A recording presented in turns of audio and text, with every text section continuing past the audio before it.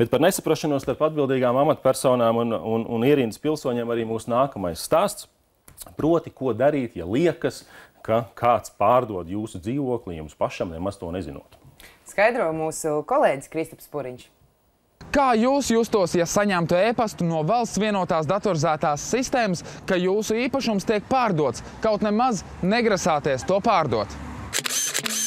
21. augustā saņēmu no valsts zemes grāmatas nepatīkamu ziņu, kad it kā mans īpašums ir iesniegts jauns nostiprinājuma lūgums uz, uz mana vārda, man piedarošu īpašumu vārdu. Šoks tiešām bija, jo 8. vakarā pirmam kārtām izziņa atnāk un, un, un 21. augustā arī tas nostiprinājuma lūgums tā kā iesniegts ir.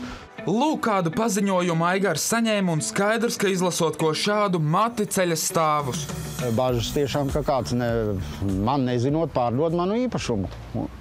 Jo, jo tā izziņa tā, to arī nozīmē. Tur savādāk viņu nevarētu saprast. Ja vecs cilvēks saņemtu šādu e-pastu, es nezinu patiešām, gudu, ko viņš padomātu. Tas simtsimnieks, ja saņem tādu, diezkas nav. Vēršamies tiesu administrācijā, lai noskaidrotu, kāpēc tiek sūtīts paziņojums par dzīvokļu pārdošanu, ja īpašums nemaz netiek tirgots, un vai nenotiek pretlikumīgas darbības. Tiesu administrācija ir izstrādājusi elektronisko pakalpojumu, kas nodrošina, ka nekustamā īpašuma īpašnieks e-pastā saņem paziņojumu par zemes grāmatu nodaļā iesniegtiem nostiprinājumu lūgumiem. Ja īpašnieks ir pieteicies uz minētā e-pakalpojuma saņemšanu, viņam tiek nosūtīts paziņojums. Minētajam pakalpojumam Aigars ir pieteicies, bet kāpēc viņam tiek adresēts šāds paziņojums, ja dzīvoklis netiek pārdots? Pilnīgi noteikti nav nekādām bažām pamata par to, ka kāds varētu nelikumīgi pārņemt īpašnieku dzīvokli.